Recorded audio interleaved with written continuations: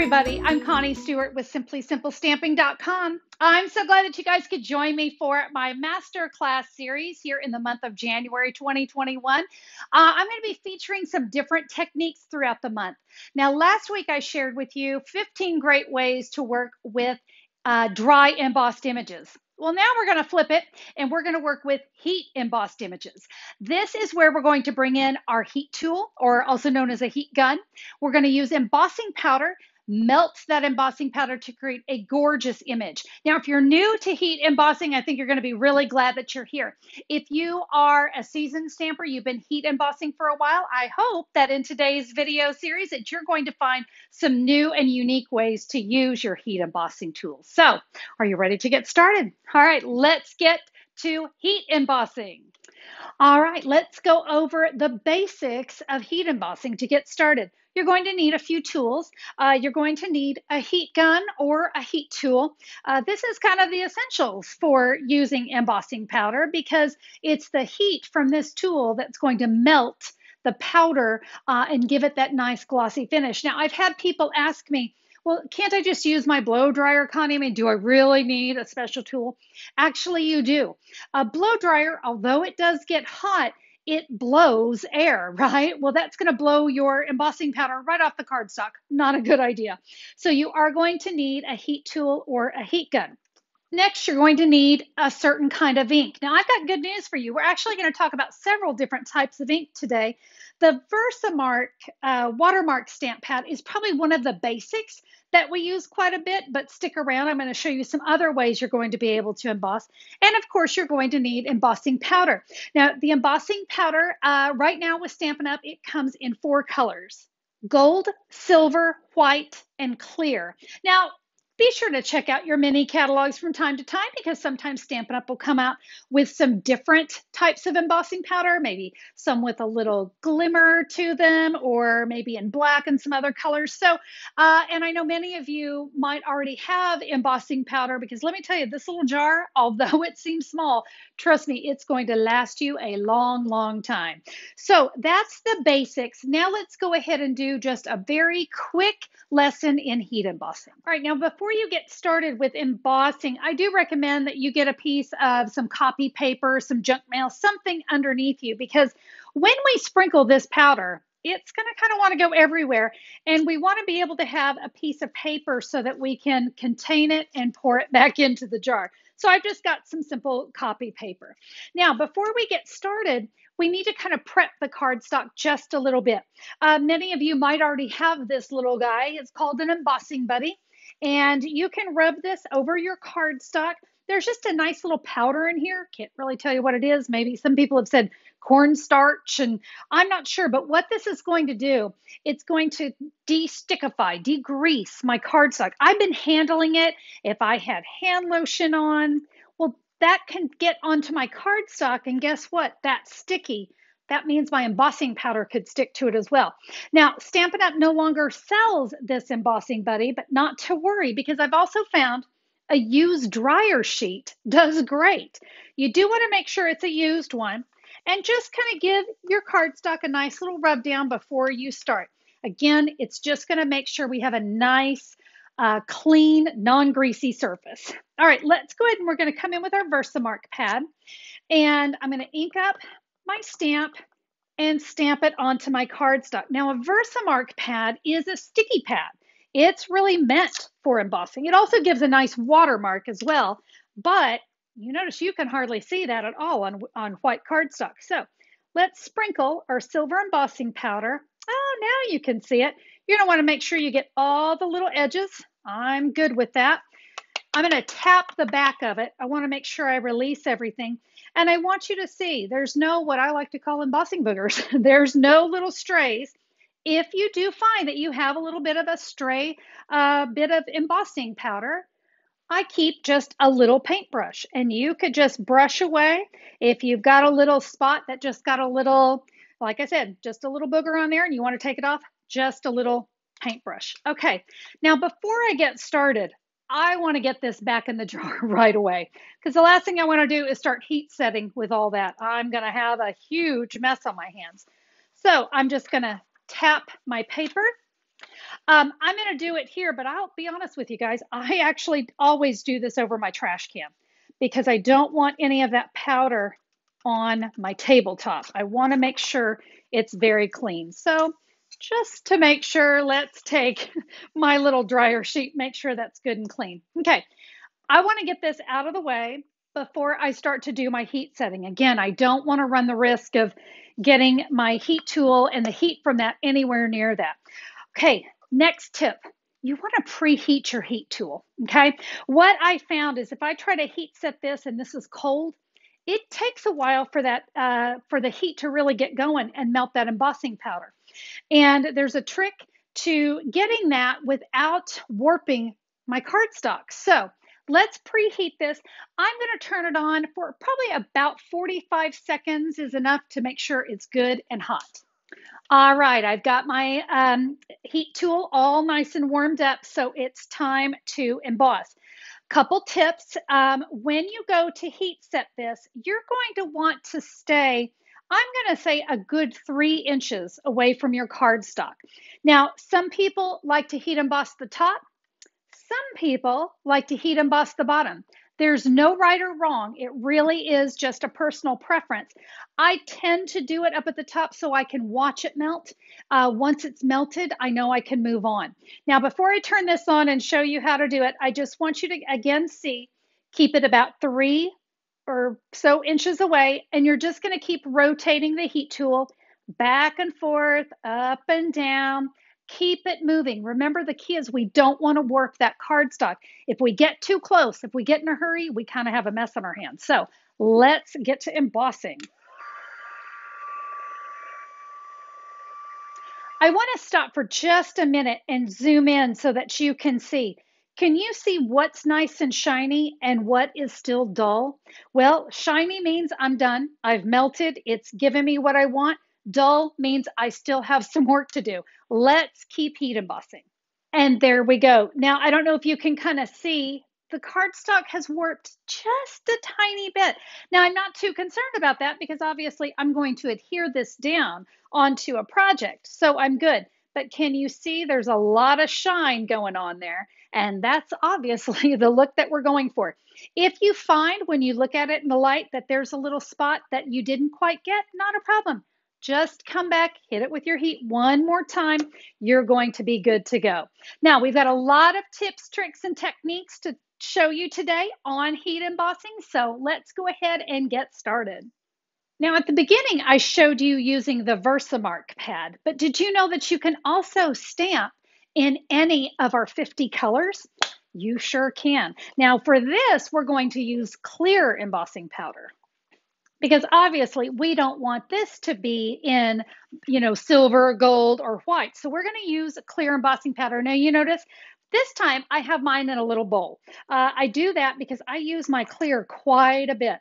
So what I want to do, I've got a little plastic spoon in here. I want to begin by getting that powder on the spoon because for this particular technique, we need to work very, very fast. I'm going to give my cardstock a rub down. Let's come in. I'm going to use the uh, Magenta Madness. So I'm going to ink up my stamp. And guys, you've got to work very, very quickly with this technique. I'm going to stamp I'm going to sprinkle it with the embossing powder, tap off that excess. Do you see how dull it is? Yep. Now let's heat set. My heat tool is warmed up. Let's move everything out of the way. Again, we don't want anything to interfere with that heat. Now we heat set. Now remember, just like we did before, we're going to keep this about three inches away and keep moving the heat tool around Again, we don't want that cardstock to warp, so we want to keep that heat moving. If you find it is starting to warp a little, go ahead and flip it over and go to the back side for just a little bit. Again, you just kind of keep moving it around, keep that heat moving. Going to keep our cardstock looking nice and pristine. And can you see there is that gorgeous flower? And now it has a nice shiny look to it because we simply added clear embossing powder. Remember, the key is you have to work very, very quickly. Make sure you're ready to go with that clear embossing powder before that ink has a chance to dry. What about giving an entire card some shimmer and shine? Here, I've used the buffalo check background. Can you see how shiny that is? Now for this card, I use the Versamark. Remember we used this at the very beginning of the video. And I simply stamped my buffalo check background in Versamark, stamped on my cardstock. I sprinkled it in the clear embossing powder. That's the one that I just used. And that gave me a really nice shine. So we've stamped and embossed with the Versamark pad. We stamped and embossed with a colored ink pad. Now let's talk quickly about the craft pad. This is the Whisper White craft pad. Now this one is very different. It's not like a normal ink pad. It's very, very spongy. It's very wet. Now when you get the um, Whisper White craft pad, it is uninked. But not to worry, it actually comes with the reinker. So when you buy the ink pad, you get the reinker as well. When you get this, you're going to want to shake this bottle really, really, really well. All right, give it a really good shake. And I've got just a plastic spoon here I'm going to use to help me in uh, spreading this ink around. Do you see it's just a very thick, thick ink. You're going to cover your ink pad. I like to go both directions back and forth, up and down, get that well inked. And now I can simply take that plastic spoon and I'm just gonna spread it around like I'm putting peanut butter on toast. So we'll get that all kind of pressed down. I'm not pressing heavy into the pad. I want that ink to kind of stay right there on top, but I want to make sure I have a very good coverage all over that very, very spongy pad. So when you ink up your stamp, I want you to tap on this ink pad very, very lightly. You don't have to press too hard because we don't want, I think you can see there's just a little bit there on the edges. If we press too hard, we're going to have a huge inky mess. So just like you were kissing a bunny, just tap, tap, tap. Um, I like to move kind of around the ink pad, getting as much ink. Now, do you see that really nice coverage we have on there? Okay. I'm going to bring in that wonderful used dryer sheet. Now this is black cardstock, so boy, we really want to make sure we don't have anything sticking to this except the uh, the embossing powder that we want. So I'm going to stamp my sentiment. Now this is called pigment ink, and that means it's going to stay wet for a, quite a long time. So I don't have to be in too much of a hurry. Now, I can take this I can sprinkle it with my clear embossing powder because it is white, or I can sprinkle it with the white embossing powder. Either one is going to work. So we'll sprinkle this on. Remember, give it a little tap on the back. I've got just a few little embossing boogers that I want to just brush off of there and get them out of the way.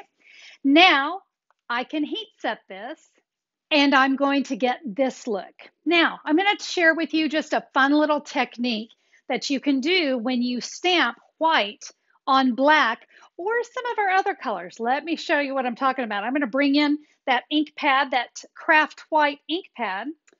I've got a sponge dauber and I'm going to just ink up that sponge dauber with some white ink. Now I'm going to tap some of it off because I want to keep this really light. I'm going to give this a look like a chalkboard. Again, just kind of tapping it off. You want this super light. It's just going to kind of give this nice, I'm going to definitely get the edges. Can you see how it's kind of looking a little bit like a chalkboard? And if you've got anything that's just a little on the heavy side, let's just take a tissue and just kind of buff that. Remember, it's very wet, so I have the ability to kind of buff some of that away and now you can see we've got the look of chalkboard. Let me show you a completed card. Uh, just let your faith be bigger than your fear. Everything will be okay.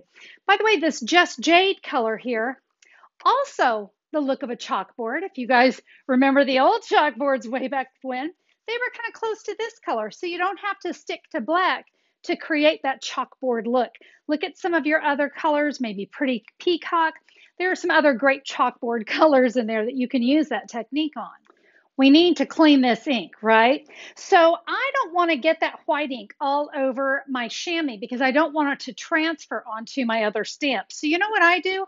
I use the back side of my chamois strictly for cleaning my craft ink. Now, you can even take this and just run it underwater.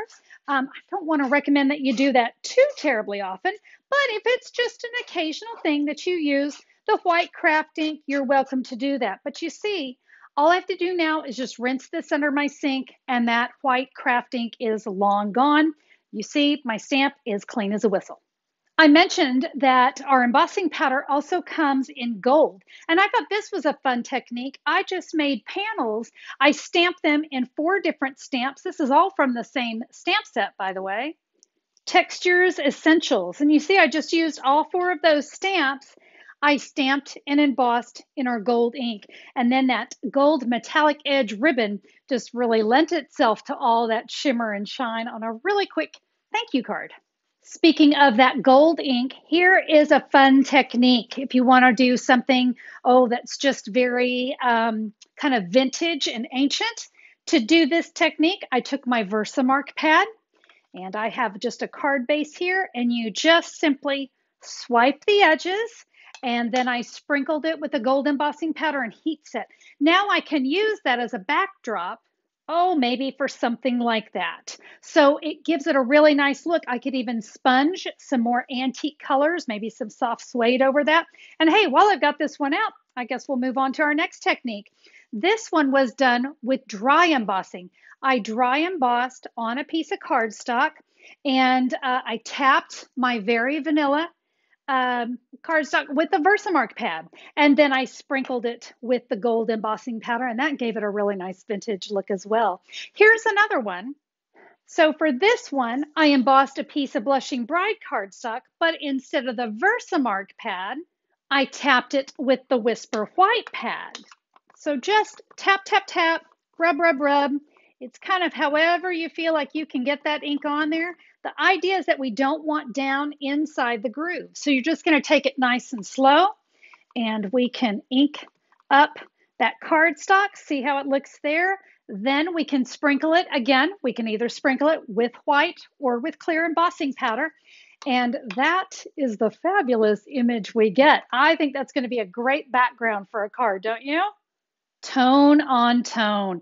I hope that you guys can see what I've done here. I've used our gold foil sheet.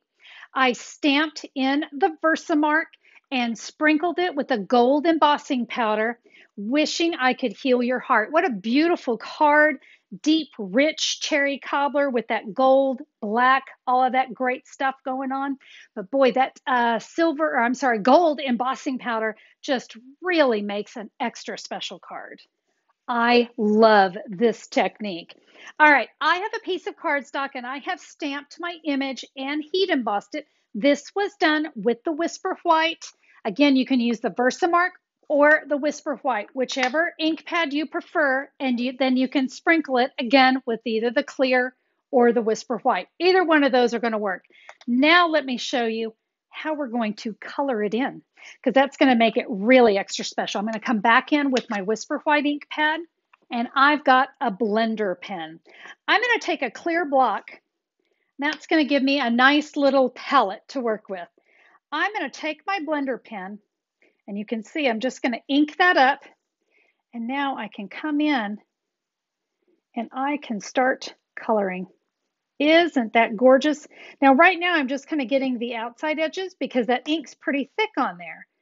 But the lighter it gets, that means I can come in, start bringing and spreading that ink a little bit thinner and a little bit thinner as it's starting to come off of my blender pen.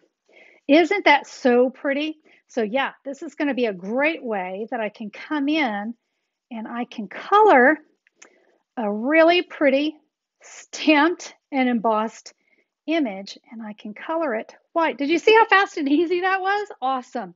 Now to clean uh, the blender pen, I'm just going to come in with some scratch paper, some grid paper, and you're just going to keep wiping that back and forth until it's clear. I can see I still have some on there. In fact, this is a great use for some scrap black cardstock just now I can easily see that I've got all that white ink off of there. As for my clear block, I'm just going to rinse that underwater and it'll be good to go. And you can see I simply took that stamped and colored image, added it to some very vanilla cardstock. There's that ribbon again. It's just a beautiful, soft, very nice image. I love how this card turned out. Here's a really fun technique. Now here I stamped and embossed in black. Now remember I taught you the method where you if you work very quickly, you can heat set it. Well, maybe working quickly isn't your thing. So I'm going to teach you another technique uh, of how you can stamp in the colors and not maybe work quite so fast. And to do that, we're going to use our stamp Stamparatus. So I'm going to put my cardstock here. I'm going to put my stamped image here. Let me bring down one of the plates so that I'm all set to go. Now for this one, we're going to use both the Versamark and our Memento black ink pad. I'm going to go ahead and start with my Versamark and I'm going to ink up my butterflies, bring that over, and I'm going to give that a stamp. Now you're not going to be able to see that, remember, because it's clear, but now I'm going to come back with my black ink pad. We'll go right over that We'll give that a nice little press. And this one, I'm going to add the clear embossing powder and then I can heat set that. Now, when that one is all done, you can see here, this particular stamp set, floating and fluttering, well, it actually has a die. And so you can see I just die cut. Oh, by the way, I did color, of course. You can do that with either your Stampin' Write markers or your Stampin' Blends. I love the nice shine that that uh, image is left behind with, don't you? I love it. Oh, get ready. We're going to blow your mind. Let's do a little two-tone embossing. Oh my goodness. Here we did black and we did white. And I'm going to show you this technique. This is also done with the Stamparatus. I've got a piece of black and white cardstock, and they are exactly the same size, four and a quarter by two and three quarters. I'm going to very gently get my magnets on there. You want to make sure there's nothing overlapping, but we really want to make sure that is stuck down well. I'm going to place my image right here in the middle, bring that plate over. I'm going to give that a press. It's now ready to go. Remember the technique I just showed you where we took the Versamark pad, we inked up our stamp, brought that over, then we came in with the Memento black ink, inked this up, stamped again. Well, that's exactly what you're going to do here. And remember, those two pieces are separate. So I took one and I sprinkled it, there we go, with the white embossing powder. This one here, I stamped with clear embossing powder. Remember, that was stamped in black. So I had the option very easily to go white and black, and then that turned into this really fun black and white card. Thanks for all you do. Did you know you can also heat emboss on vellum? Now, I love to work with vellum. Uh, Stampin' Up's vellum, just so you know, is called cardstock vellum. It's very hard. It's not that really flimsy uh, uh, vellum. So you're going to want to make sure that you're using a very good quality um, vellum, such as the one sold by Stampin' Up, just because it is so firm. Heat and vellum don't always get along. So a couple tips for heat setting on vellum. You know how I told you to keep your heat tool about three inches away? You might want to make that five or six inches away and really keep that heat tool moving because we don't want that vellum to warp. Now you notice I even did a little coloring on this one and uh, it's a very simple technique. You simply turn your vellum over and then you can take your Stampin' Blends, and I'm just going to color in. It's so incredibly easy. I just can't even tell you. This is just one of my favorite little techniques. So once those are colored and you flip it over, you get that. And this one here, this was stamped. And then of course I embossed that in the white embossing powder. And look, I just took my Stampin' Blends and went outside the lines for another really fun and different look. Here's a really fun technique. This is called Emboss Resist. So I stamped You Are My Sunshine, and I can do that in either the Versamark or the Whisper White, whichever one. And then you're going to uh, cover that with either the white or the clear embossing powder, again, depending on which ink pad you use. And then I've heat set. Can you see the shine? Now let's make it pop and, and resist where we did our heat setting. I have a Daffodil Delight ink pad and then one of our brand new blending brushes. Okay, I got to tell you, when I got these, I thought it was going to be just a giant sponge. It's not. It's like it's like the softest thing ever. I just want to like I could put myself to sleep with this. It's it's teeny tiny little bristles and they're very very soft. So what we're going to do is we're going to ink up our blending brush I like to always dab off a little bit first because I don't want it to be too strong. I want my heaviest color here in the middle. So I'm going to start in the middle and I'm just going to blend, blend, blend, and I'm just going to work my way out. And don't worry, any of that ink that's getting on my sentiment, it's going to buff right off here in a second. I'll get a little more ink here. Again, I want to keep my heaviest color in the middle. So I always start in the middle and work my way out. We'll keep adding that gorgeous color. And there you go. Now I've just got a simple microfiber cloth and I'm going to buff away any of that ink that may have tried to stick to my embossing powder. Now, remember, I should say that is not embossing powder, that is embossed because I've already heat embossed that. This would not work otherwise. So please make sure you heat emboss it first. But now, do you see Ooh, that white just pops right off of there. And then there is my finished card. You are my sunshine. I can now take that, rinse that under the sink, get that ink off of there, and I can continue to use that in some other colors. Thank you guys so much for joining me today. I hope that you picked up a new uh, idea or two using your heat embossed images. Hey, I would love a thumbs up on YouTube if you're enjoying this masterclass series. And remember, if you missed the previous uh, video on dry embossing, You'll find the link right up there in the corner and that you can catch that one. But head over to simplysimplestamping.com during the month of January 2021. I'm going to have a complete series for you every Tuesday sharing some unique techniques I think you're going to enjoy. Thank you guys so much for being here today. Have a fabulous day. I look forward to stamping with you next time. Bye bye.